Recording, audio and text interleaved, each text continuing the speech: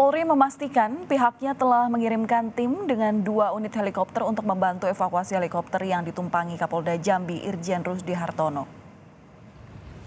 Selain mengangkut Kapolda Jambi, Kapolri menyebut helikopter yang mendarat darurat itu juga ditumpangi oleh Direskrimum Polda Jambi, Dirpol Airut Polda Jambi, Korpspri, dan Ajudan Kapolda Jambi. Polri juga menerjunkan tim dari Satuan Brimob yang memiliki kemampuan pencarian dan penyelamatan ke lokasi. Dalam proses evakuasi ini, Polri dibantu oleh masyarakat dan para pencinta alam yang memahami lokasi untuk mengetahui dan membantu menuju ke titik lokasi helikopter tersebut.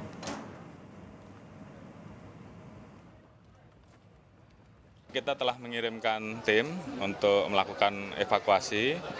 Terdiri dari dua helikopter yang kita berangkatkan dan kemudian juga uh, tim dari Brimob yang memiliki kemampuan melaksanakan SAR dan juga uh, kita dibantu juga oleh masyarakat ataupun uh, para pecinta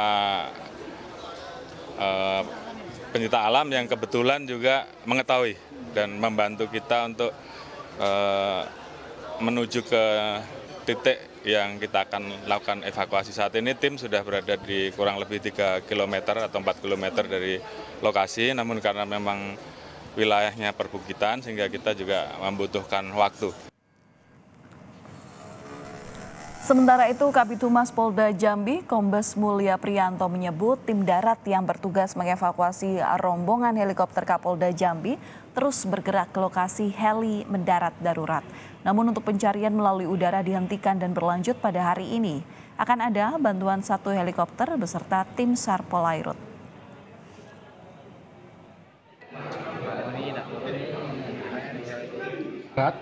Tim darat Eh, dalam rangka mengevakuasi uh, rombongan uh, Bapak Kapolda terus bergerak, terus bergerak ya untuk tim darat.